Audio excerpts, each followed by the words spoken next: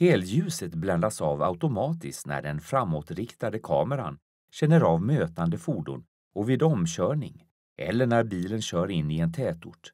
Halvljuset skiftar automatiskt tillbaka till helljus. Funktionen aktiveras från multifunktionsdisplayen och slår därefter på helljuset.